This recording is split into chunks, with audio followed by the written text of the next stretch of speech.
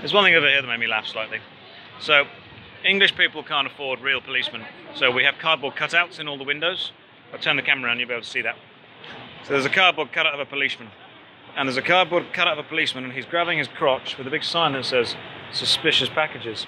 Now I don't want to know what his suspicious package is, but obviously he's having a great time standing in the window.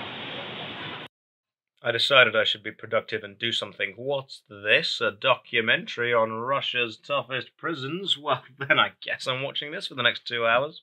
Interesting thought that I need someone to answer.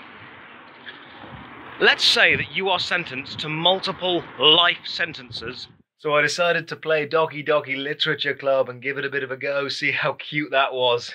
it was a mistake. Playing the game was a mistake. The whole thing was a deeply unsettling experience. On a video before I go to bed. Pineapple does belong on pizza. I don't care what you say, it does.